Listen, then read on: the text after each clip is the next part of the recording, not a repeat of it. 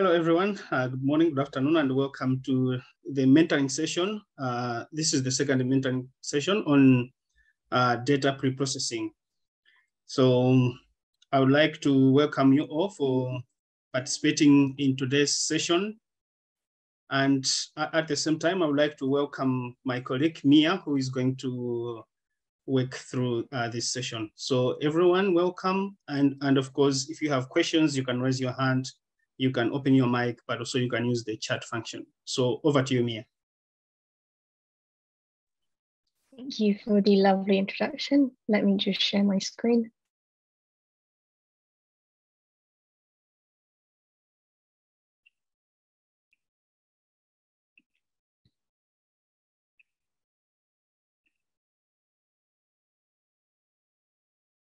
Okay, so as Thomas has just mentioned, this comes as our second part. Um, our first session was last week on computer networks, and today we're going to be doing a slight introduction on data preprocessing.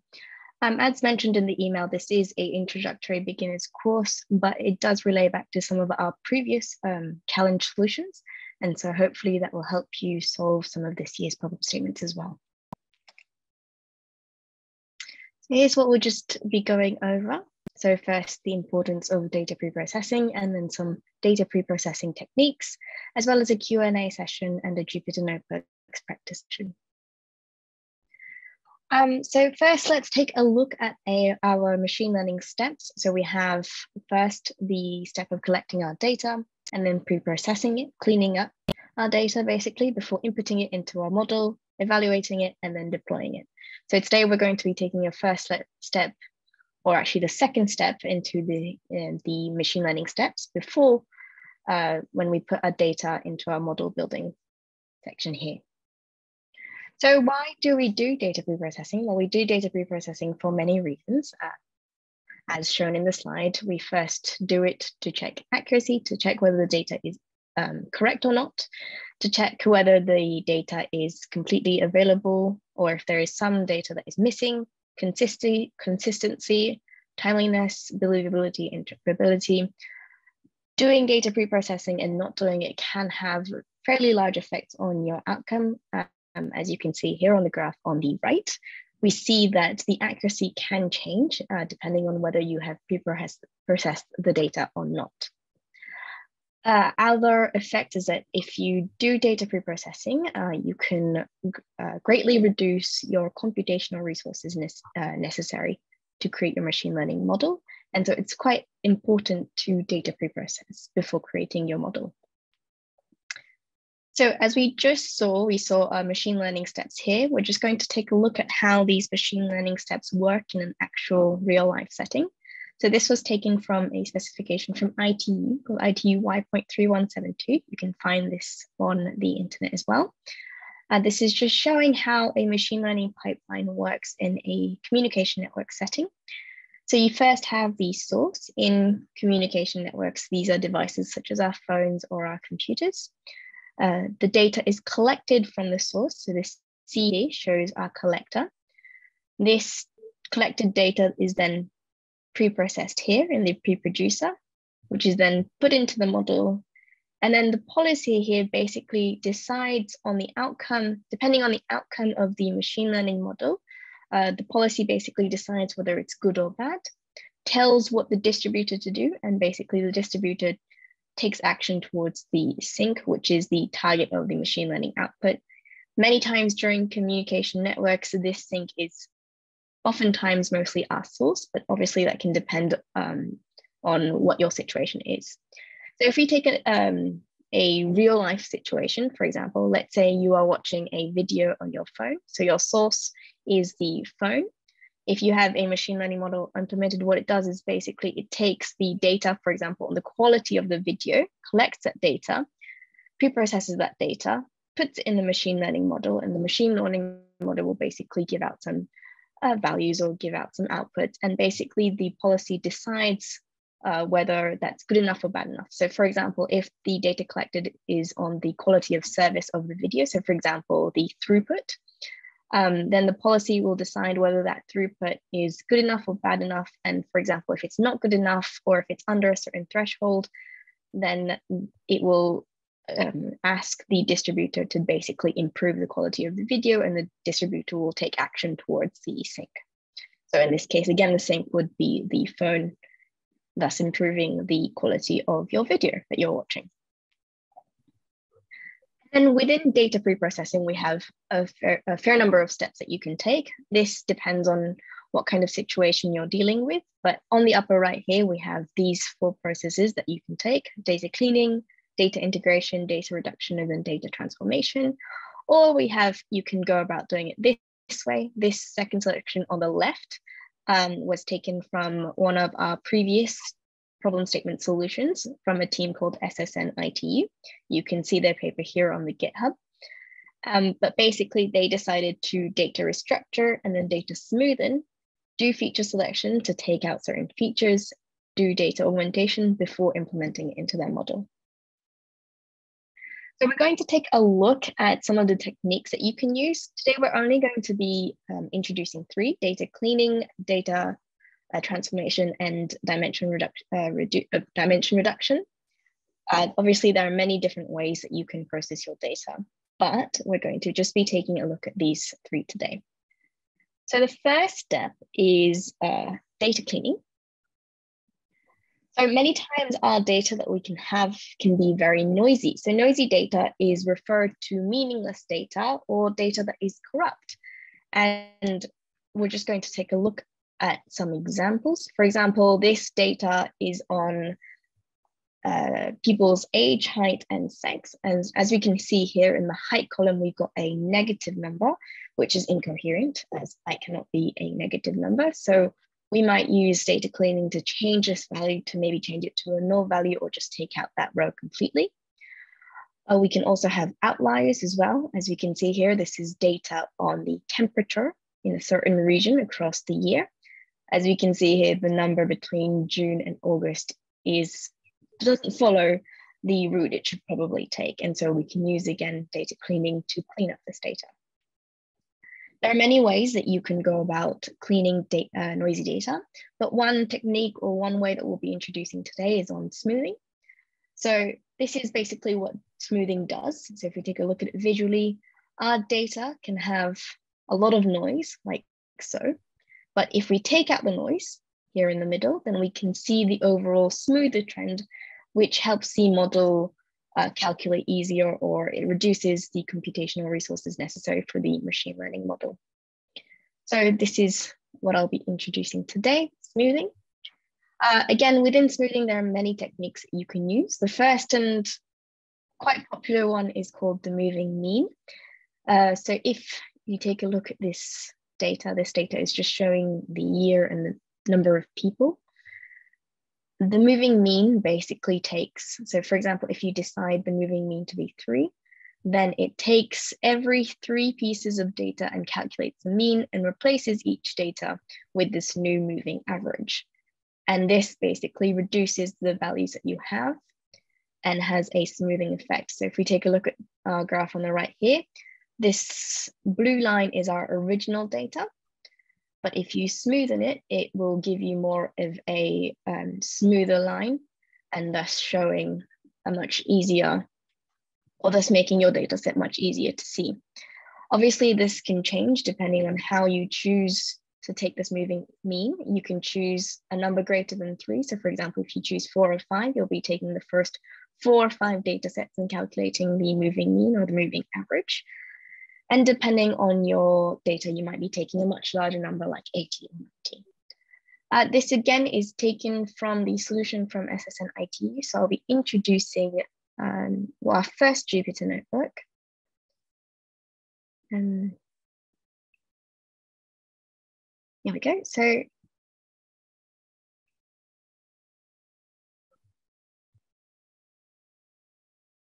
um, and again, this uh, Jupyter Notebook can be um, AI 5G, 5G and machine learning challenge.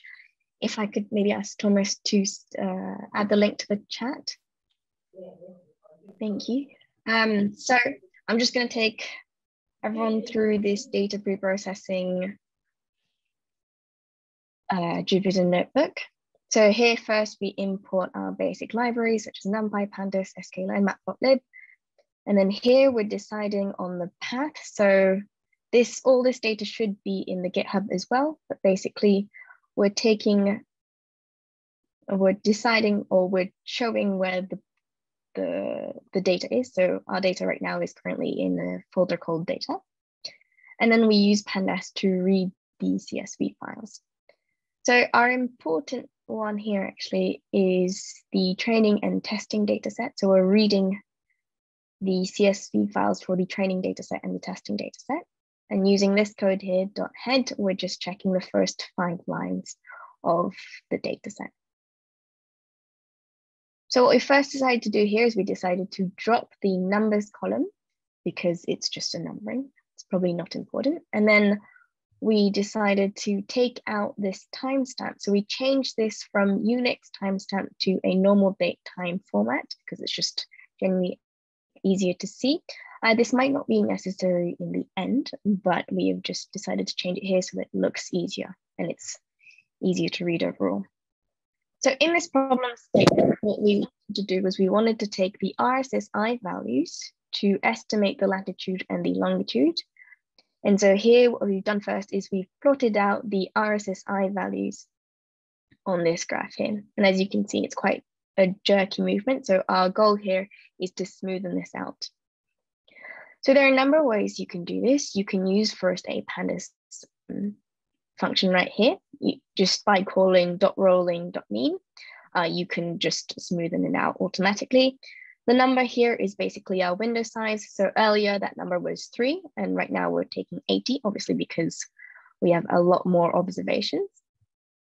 And then here we're taking out our null values and adding that on as a new feature here. So as you can see here, this is the moving average of this column RSSI.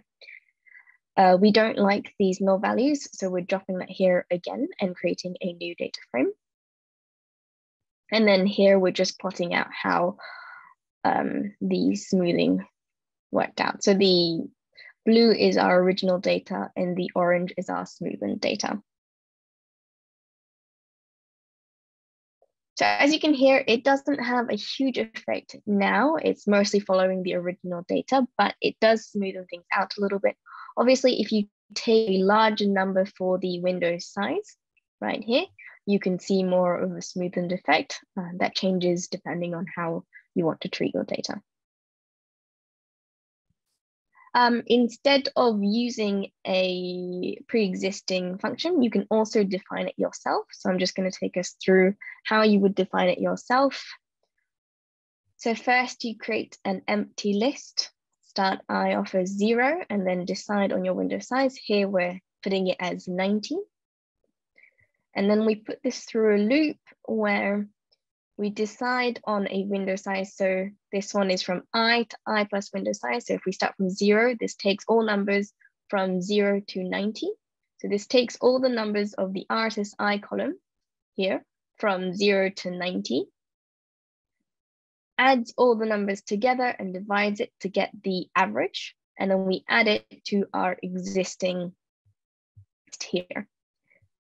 And then in this section, what we're doing is we're replacing the null values. So as we saw at the very beginning, when you do the moving average, the first uh, values here uh, get replaced by null.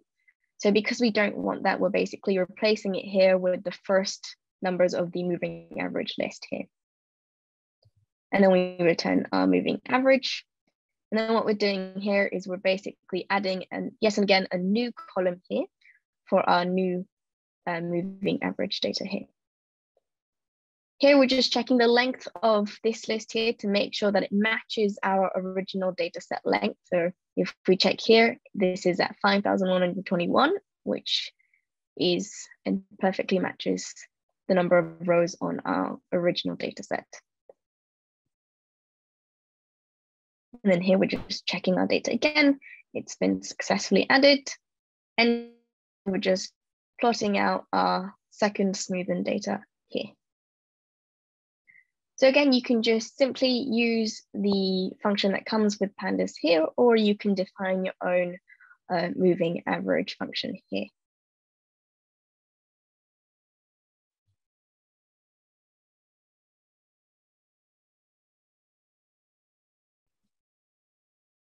Okay, so that is smoothing. Obviously, this was the moving uh, mean technique, but we can also use a bin smoothing technique. So a bin smoothing is the idea that fx can be considered a constant if fx only changes slightly. So if I just explain this through an example, if we have a data such as this, where it's numbers from 8, 9 to 30, 34, we can separate these in equal frequencies into a number of bins. So we take four pieces of data each to create and separate into different bins. And we can calculate the average here and replace all these numbers with 12. Here is 23 and here is 30. Uh, this is also a technique that is used as well. Next, we have data transformation. So data transformation is the idea of changing our data sets and our data values. So oftentimes we can get data sets that have values of different scales. So for example, if we take a look at our data set here, the number of people is in the, uh, the thousands and ten thousands, but the price is in the tens and hundreds. So what uh, data transformation can do is it can change these values so that they fit into a certain scale. There are again many ways to do this, but the two that I'm introducing today is the min-max scaler and the standard scaler. The min-max scaler basically scales down the data so that it has a set minimum and a set maximum. Oftentimes minimum is zero and the maximum is one. Or we can standardize it, which makes the mean as zero and the variance as one. This is very simple to do. We just need to import the standard scaler from the sklearn.processing library, create our scaler, and then fit and transform our data, and it will automatically do so. There are other ways of data transformation as well. You can also do lab encoders and one-hot encoding. So what this does is it deals with ordinal values and changes them into numerical values. So if we take a look at our data set again here on the bottom, the profit column is separated into categories of low, medium, and high. So this is very difficult to input into a machine learning model. So what we can do is we can change these and set them into numbers so that low is one, medium is two, and high is three. So that now our numbers are one, two, three, and thus easier for our machine learning models to read. Instead of categorizing as one, two, and three, we can also do one hot encoding, which changes these values into zero or one. Um, for example, we can put profit as one and no profit as zero. And so instead of having these categories of one, two, three, you can just change them into one and zero. Uh, we will be taking a look at this example in an actual code later. And then last but not least is dimensionality reduction. So Oftentimes with real world data sets, there are often too many features. And so it's necessary to reduce the number of features so that it doesn't affect the model later on. So this can help in several ways. As mentioned already, it can help reduce the number of computational resources, prevent overfitting, and so on and so forth. So while there are many ways to do dimensional reduction, uh, we're going to be focusing on a few techniques, namely feature selection, so feature selection is the process of reducing the number of features according to how relevant they are to the output. Um, the simplest way is to use the correlation coefficient, which comes with the regression models.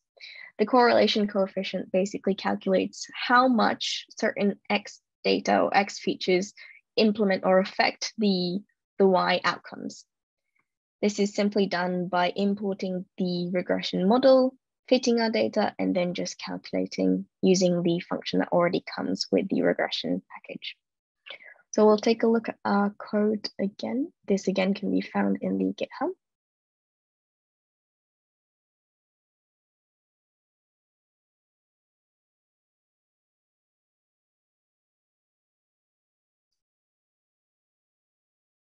So this is taken from a problem statement published by KDDI in 2020. So again, we're importing just our usual libraries and setting the path to the data, which again is in the data folder. We're reading our CSV files using pandas. And then we're just showing the top five values of the data set. As we can see here, we've got an unnamed zero column here, which is just numbering again. So what we're going to do first is just going to drop them so that our data doesn't have this redundant column. So as we can see here from this number, as well as if you print out the code dot shape, you can see the data set and the data set size. As you can see, we have 997 columns this way. So there's a lot of features in this data set. So what we want to do is we maybe want to choose the top 20 or 30 features that really affect our outcome and maybe just work with those. So right here, what we would do is we would import the linear regression um, model. Well, today we're going to be using linear regression, but you can also use logistic regression and other models as well. And we're also going to import matplotlib to just plot out our features later on. This is redundant, this is unnecessary, but right here, we basically import or create a model based on linear regression, regression and then fit our X train and Y train values. Our Y train values, although not important currently, is actually this V-type code here, and then the X values or the X features or all the rest of the columns. And then all we have to do is we have to print out the model intercept and the model coefficient. So what we want to hit, see really here is the model coefficient. So we'll basically go through this loop here to print out the uh, coefficient. So these are basically just showing how much each feature, so feature 0, 1, 2, 3, affects or influences um, the Y outcomes. So as you can see here, we just get a list of all 997 uh, features. 995. So here are just two graphs that plot out uh, the the feature the scores here. And this graph basically just takes the 20 largest feature important, the 20, uh, 20 features that have the largest importance values. And what we can do from here is we can decide maybe to take 20 or 30 of the features to then actually use and train our model. So here, as we can see, we have not used um, a standard scaler or any kind of scaler to scale our data. So we're just going to try and scale our data using the standard scaler. So here again, we just import our standard scaler and then fit transform our test. Just make sure that with the training data set, you fit transform, but with the testing data set, you only transform. And then we fit our data. And then again, we use the exact same code to print out the feature importance. And these are our results. As you can see here, however, compared to the numbers that we saw here, we can see a huge difference here. That's giving us numbers way too large for us to deal with. And so our conclusion here is that maybe this standard scaler was not correct for our data set. Maybe our data set is a little bit too sensitive or it's just not the correct scaler to use. So what we can do is we can either not use a scaler or we can use other scalars um, to scale our data.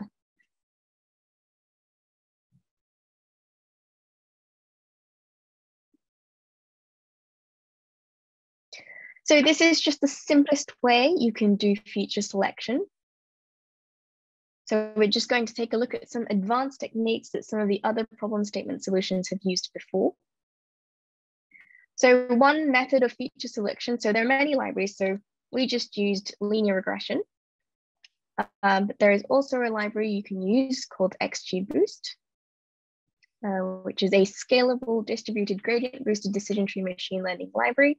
It was used in um, a solution from UT NECA AI team from one of our 2020 problem statements. So this one's using the same data set that I just showed you here. So it has 997 columns. So it's quite large. So what they did was they did XGBoost to calculate the top uh, 20, I believe, features, and then just use a certain percent of the top features. Uh, you can also use other ways instead of uh, feature selection. So one way that was used in one of our previous solutions was pooling. So pooling layers are often found in, oh, sorry, pooling layers are often found in convolutional neural networks. So a convolutional neural network, also known as CNN or convolute, is a class of neural networks that specializes in processing data that has a grid-like topology, such as an image.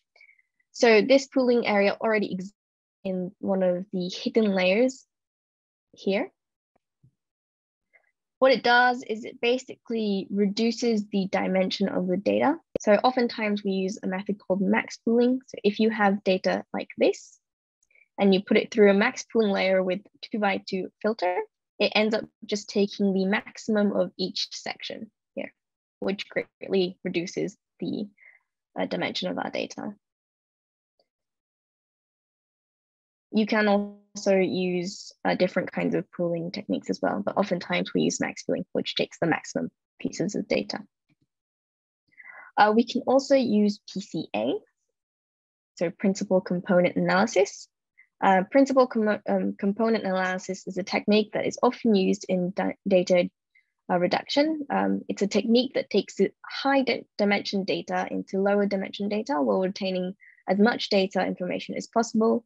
So if we take a look at a graph here, what data, what PCA does is it takes this 3D data and then compresses it into 2D data. So here is just a quick run through of how we would actually calculate um, PCA. So PCA uses the idea of variance. The more the variance, the more information the feature involves. So our first result or our first step is to standardize the data. So not to create disparity. And then we calculate the covariance matrix.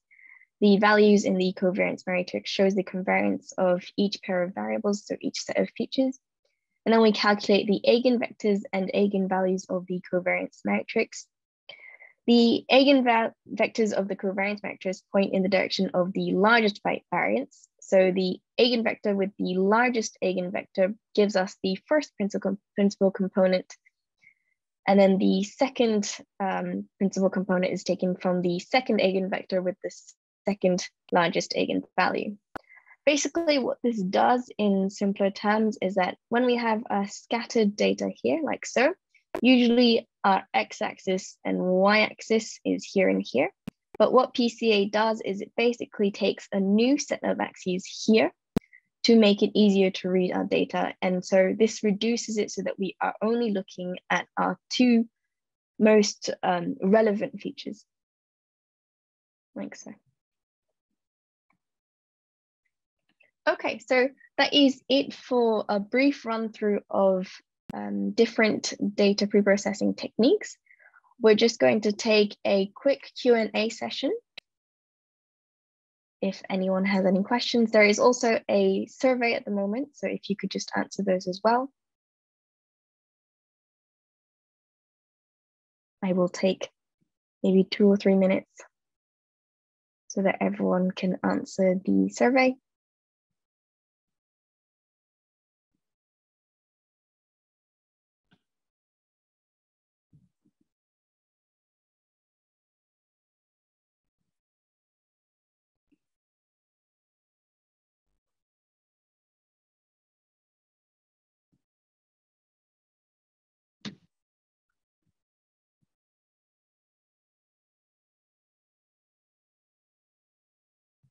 Okay, thanks a lot, Miya, for this nice uh, introduction to data preprocessing. So we are just now in the Q&A, but after the Q&A, we, we have the Jupyter Notebook practice. So for some people who are interested to do some practice, uh, we, we can do it together uh, after the Q&A. So uh, yeah, let's open for questions. Okay, so there's a first question uh, from uh, Hannah about uh, model compression on the model itself. Uh, in terms of the, uh, do you have an answer, Miya, or I can I can take it? No, please, please take it. Okay. So so so far, what, what we have introduced, uh, we we just introduced the, the first part uh, of the modeling itself. so Miya, if if you can maybe open open the slides to uh, slide, I think should be number slide number three, if I'm not mistaken. Yes. So if, if, if we can say, if you can look at this slide, right? We, we have the, we collect the data, we pre-process, we build the model and evaluation. Of course, here we have skipped uh, one or two techniques in model building because uh, for model building, you, you, have, you have the training, uh, optimization or hyperparameter tuning, as well as uh, you can now talk about uh, model compression depending on where you want to, I would say, deploy your model. So if you are talking about model compression, this is more or less like after you do the model training. But uh, for this session, we are just interested in the pre-processing part. So uh, model compression or pruning or quantization happens after you have built your model, you have op optimized it, and now you are thinking about where you, you deploy for inference. I guess this answers the question, but if not, you can always,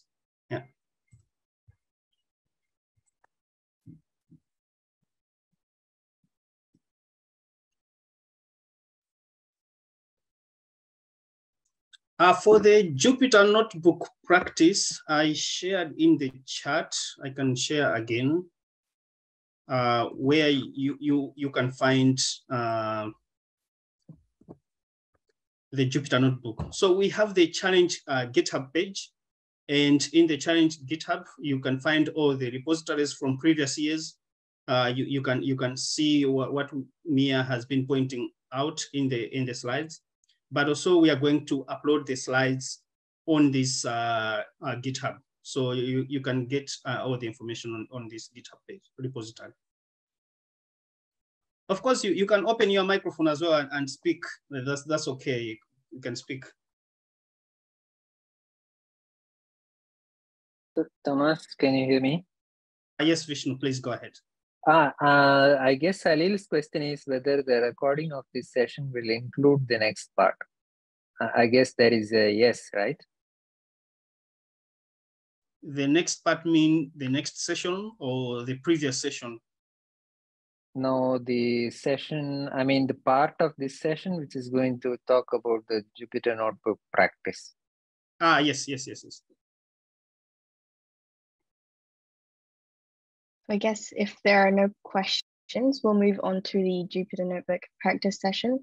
So this session is just going to be uh, for those who are interested. What we're going to do is if you would like, you can access the Jupyter Notebooks and download them from the GitHub.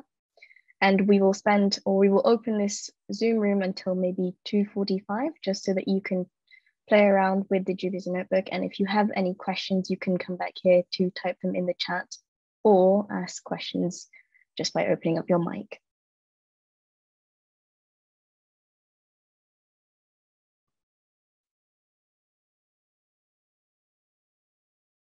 So yes, we will leave the room open until 2.50 or 2.45, Thomas?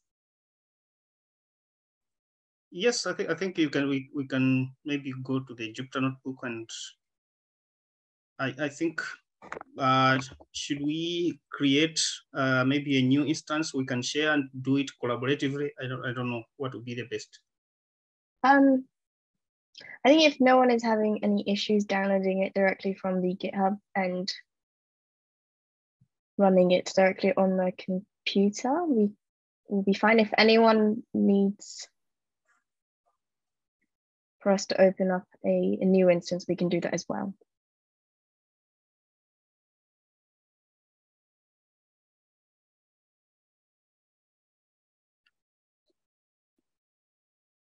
Yeah, I think you can just go as as you planned.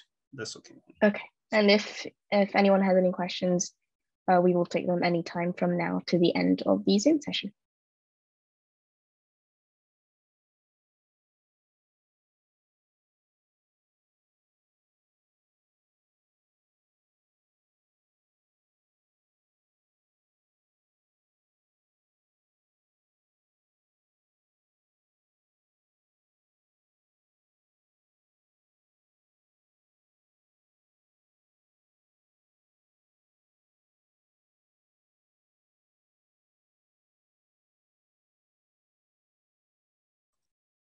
So as as Miya said, uh, this is the the GitHub repo that I've shared, and you can download or you can get uh, the data is in this folder uh, for the two uh, problems uh, statements we have shared.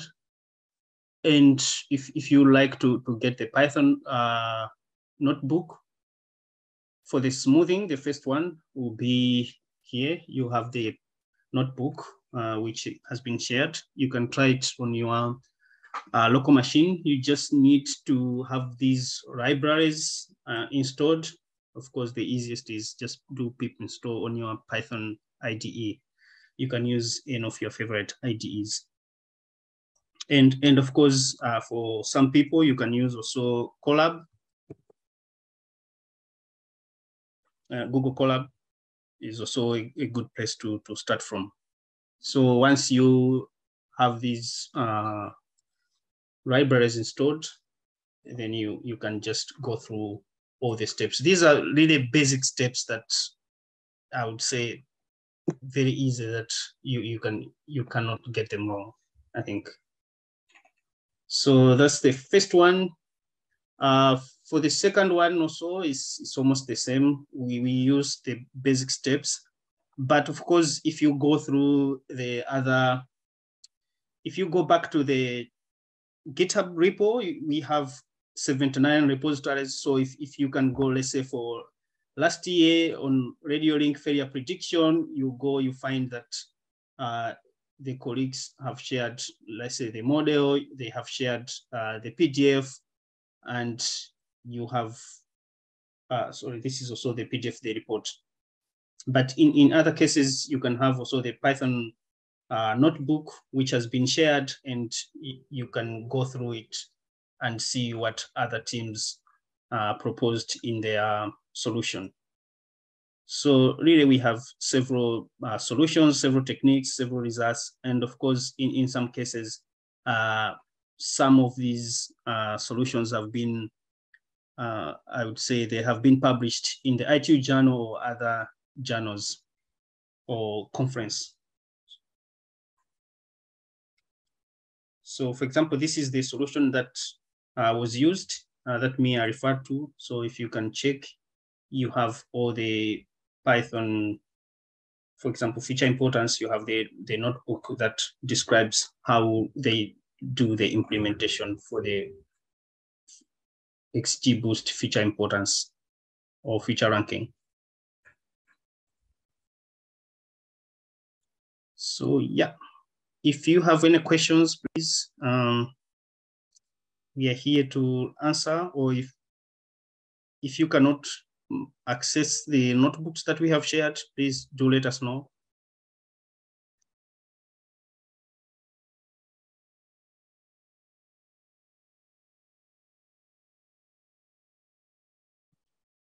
Any questions or comments?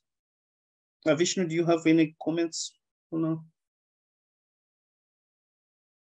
No, I, I believe uh, one thing we can do is to use this uh, Colab directly. I have put the feature selection uh, uh, feature selection notebook. Similarly, you can open it in uh, open the other notebook that uh, Thomas and Miya explained in the in the Colab as well.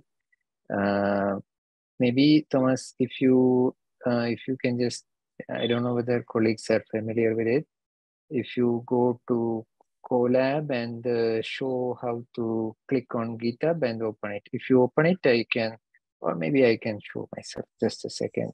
Yeah. Yeah, I can. So if you, what you do is that, uh, I mean, most of you might be already familiar with it but uh, just in case you are not familiar this is what you do. This is what i just now did you know. So i, I took uh, i went here to go Colab and uh, i look at uh, i look at opening a new new file and it gives me this. I click on github. I mean you can you can look at others if you like but i look at github and uh, if i type the uh, if i type the from from um, from the uh, link that uh, GitHub link. From the GitHub link, you can get the uh, the mentoring sessions, and here is the URL for the uh, for the notebook, right? So this is the GitHub that uh, Thomas showed it in the, and it is available in the chat window. So you take that and put it here. This is the same same GitHub uh, notebook link, and you can click. Uh, um, uh, you can search for it, and it will come up like what I showed you. So that's what you do to open it in uh, in uh, GitHub, and you should be able to see it.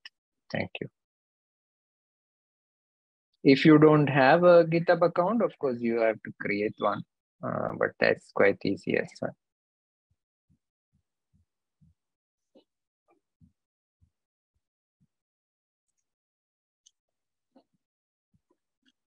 Yes. So yeah, you, there's uh, many many ways to to get started. I, I believe you can use your computer, uh, download uh, Python and get started. Also, you can use Google Colab. The link has been shared. You can copy it or download it or share it to your Google Drive and get started. That's another easy way as well. Uh, for people working in the challenge, and if you have uh, there are some problem statements with really big data sets and maybe you don't have access to very good compute, uh, very good GPUs, you can request the GPUs from us and we can lend it to you for free. But of course, they are for a limited amount of time. So you cannot use it as much as you can, but, but for a limited number of time because these are resources that we would like to share to as many people as possible. So please, if you if you are working on some problem statement and you would like to get access to the GPUs, uh, please um, check with us. And I believe we are almost clo uh, close to uh, to the closing time. So we, we can finish the session around here. I don't know, Miya, you have something to um, yes, thank you everyone for joining. Um, again, if you have any questions, please ask them in the next few minutes because we will be closing the session. Um, we do have some other mentoring sessions prepared for in the near future. Uh, we will have one or two until the end of September. So please, uh, if you are interested, watch out for our emails. Thank you. That's it from me.